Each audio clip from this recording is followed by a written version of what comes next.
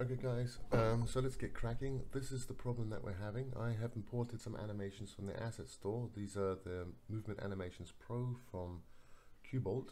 And as you see, if we're on, we're in the Animations Pro, we're in the Animations folder here. And we're taking the Movement Animations Pro. You see that it is a humanoid. So that's correct, what we wanted. But if you go into the FBX file and you click on one of the animations, this is our problem. It's all grayed out and we have no uh, root transforms here.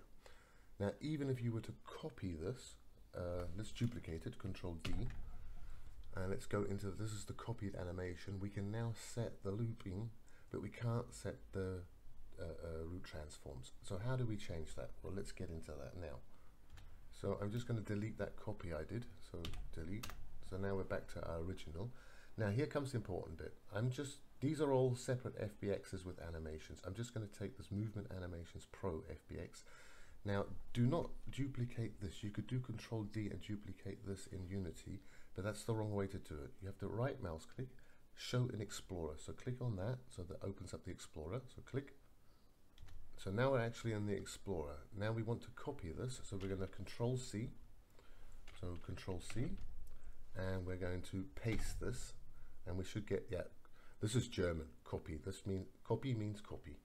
So now we have the copy. Now if we close the Explorer and click on Unity, it'll import that again into Unity. But you'll see what's going to happen. It's magic.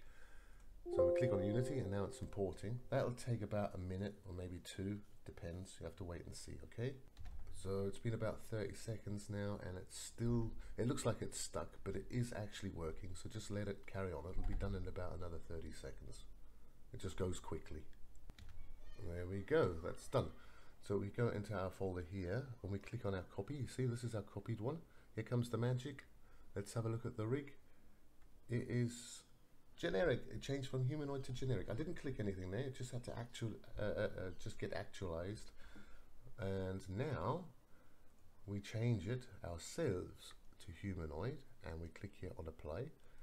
And this is going to take a little while too I think. Did I hit the apply? Yes I did. So I'm going to get back to you as soon as that's done. So this is taking 30 seconds till now. It looks like it's stuck but it is actually uh, converting. So don't worry just let it do its job um, and you'll be fine. You'll see. Okay, so that got done and we can see now we are back to a humanoid. You don't have to do the configure because it should be configured correctly. Let's go into our copy now again. Let's open it up and click on one of these animations here and just take a look at this. It's all there. All your transforms are there. Now it's grayed out because you can't edit directly in a FBX. You have to make a copy of this. Now what you do is you just scroll down and you would mark all of these animations and you would control D duplicate them. Now I'm not going to do that now because it's just going to take a little too long so I'm just going to take one of them to just to show you. I'm going to control D duplicate it and at the top here we now have that duplicated animation. You could even just call it copied well even if you have to type right let's try to uh, copied and if you have a look at the animation now you can do looping come on click. Or you can do your base orientations.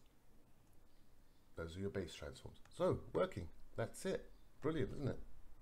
So just doing that very quickly. We're going to do it one more time for another one just to show you. Okay. That's our animations. This is the one we did. Copy. Let's do another one. Somehow my computer click. Okay. Now let's do this fighting one. Okay so right click show in explorer. So we're now in the explorer. I am going to copy this folder and I'm going to paste it. And now we have a copy. Okay I'm going to close don't want to mark that. I'm going to close this uh, explorer away. So we're going to unity. Click on the unity so it actual uh, it'll actualize. And let's just wait until that gets imported. There you go. Done. That went quite quickly this time so we have our fighting copy up here let's click on it and it should it says generic so we have a generic now now we can turn it into a humanoid and that's gonna update all the animations. So we're going to apply and just let that do its magic. It'll take about one to two minutes. Well, okay, there's not very many animations there, so it got done quite quickly. So that's actually done. So if we go into our copy here of fighting, where is it? Copy, open it up, look at one of the animations, and you can see all your uh, transforms are here. All you'd have to do is duplicate these animations, duplicate, control D, and you can see now you can do anything you want in these animations. So that's it guys. Um, I hope that helped because on the YouTube there are a lot of complicated ways of doing this and this is quite necessary sometimes when you download uh, third-party assets from the asset store with animations. Okay, so have fun. Bye-bye.